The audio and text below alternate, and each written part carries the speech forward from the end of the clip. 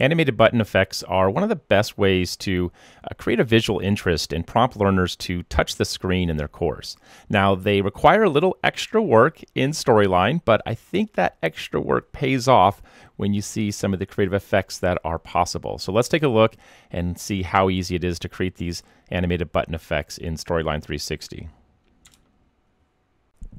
Okay, so I'm here in Storyline, and the first thing I want to do is just insert it could be a button, it could be a regular shape, it doesn't really matter. I'm going to keep it really simple and just work with a shape. So I'm going to come up here to the Insert tab on the ribbon, and I'll just start with a uh, just a common rectangle is fine. But you can really play with any of these shapes to get an idea of the different effects and how they work with uh, the various shapes. So I'll click rectangle, and I'm just going to draw a big old button right here on the slide, and let's just call this button, and I'll make this, uh, let's say, a little bit larger type there.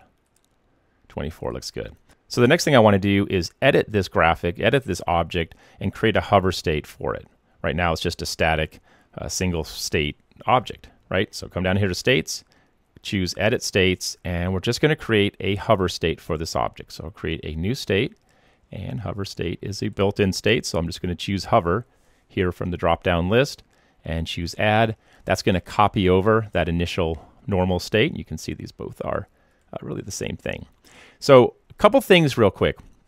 If I want to add a animated hover state, you think, okay, well, let's just go up here to the animations tab up here in the ribbon. But what do you see, right? Well, you see that your animation options, whether it's the entrance animation or the exit, are disabled. They're not available, but they are available to any new shapes that we place inside of this state. So let me show you what I mean. I'm going to go ahead and just add another shape, really pretty much the same one. So I'm just going to click this and I'll change the color real quick before I place it over the graphic. I'm just going to align it and place it right there.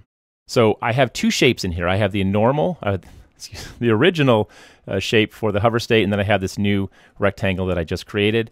If I go back up to the animations tab, look what I have. I have access now to all of my entrance and exit animation styles. That's super cool. So I can apply maybe a wipe if I want to show this, uh, it's kind of like a progress button coming in. So I'll choose wipe, and then let's just say it comes in from the left, and I'll choose a wipe to exit it. And again, one thing you're going to want to do is play with all of these effects so you can see how they really work. So I'll put that right there. And I am going to type in button again just to make this also appear when that text comes in. So I'll just change this back over here to 20. I think that's what I used on the first one, right? 20, 24. Good thing I checked. Happy I checked. 24. Okay, that's what I'm going to do for now. I'm just going to close out of here, choose done editing, and let's just preview our slide real quick. So just preview, preview the slide. Here's my button, and when I hover over, notice how that yellow hover shape wipes in. When I move off the button, it wipes out. And you can play with different directions for those wipe animations. Let me show you one other thing you can do. Well, just another thing you can do. You can do a lot of other things. I'm going to come back down here, click Edit States, select this second shape here for the hover. I'm going to remove the button label, and I'm going to just kind of shrink this height of the button. So I have the same effect, right? The same effect where it's going to wipe in from the left and then wipe out uh, from the right, but now it's not covering up the entire button. So you don't have to cover up the entire original shape that you're using for your buttons. Just add an accent piece to each of those. Close out of done editing, close out of the states, done editing states, and let's preview the slide uh, one more time. And now you see how there's a little accent up here at the. So just a couple ideas of how you can work with animated button effects in Storyline 360.